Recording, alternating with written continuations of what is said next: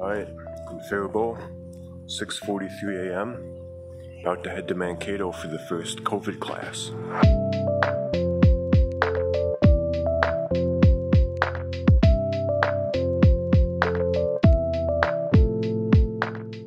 I'm entering into my final semester of college, and needless to say, things are different. Classes are now hybrid, online, and in person, and there are strict guidelines. Everyone must wear a mask at all times, even during vocal lessons, and classes are halved. It's definitely a strange time to be in school. One of the unique challenges of this semester is that I'm actually in an ensemble.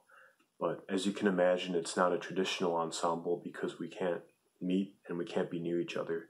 So, what we're actually doing is we're just recording an album, and everyone's recording their own parts remotely, which is kind of fun because it's very similar to what I did on the Songs from Home EP.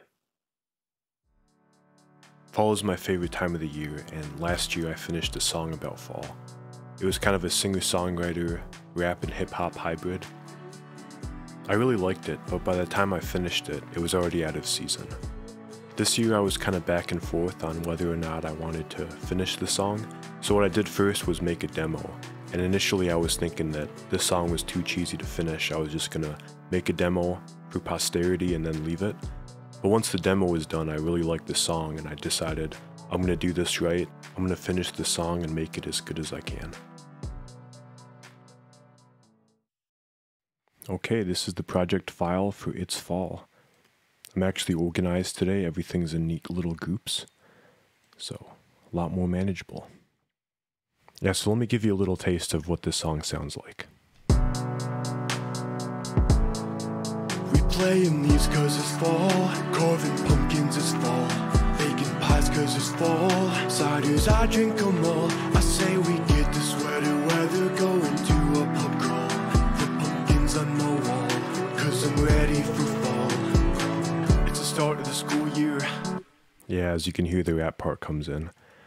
Um, it was working pretty well as just a singer songwriter tune, and I liked the melody a lot, but for whatever reason, when I was writing this, I really wanted to have some rap, so give you a little taste of that too.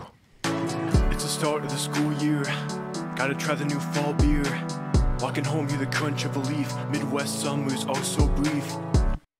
And another thing that I did on this song that I don't normally do is I have acoustic guitars on this. And I use acoustic guitars a lot, but never for rap music.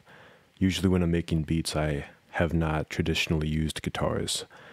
And the reason I decided to go with that is because acoustic guitars just feel like fall to me.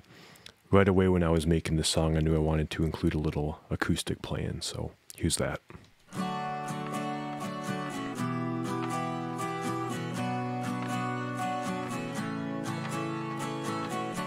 And here I have four different layers of acoustic guitar. I was having quite a lot of phasing issues. So what I did is I changed up mic placement and also I used two different microphones. So for two of them I have the MXL 990 and for the other two I have SM52. Yeah, so speaking of layering, the song really builds up as the song progresses. You can see right here I have two vocal tracks for the first chorus and then three for the second, and the third has four. And then also I have all these little harmonic things at the very end. And you're never going to hear these in context, it's very background, but I'm just going to solo all the background stuff right now.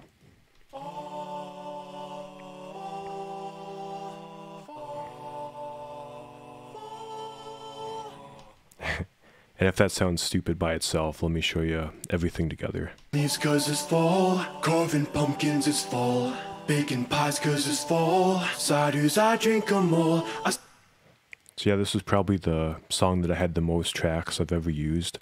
Altogether, individual drum sounds and all that, just about 50. So I had a lot of fun making this and I really put a lot of effort. I wanted to make it the best that I could.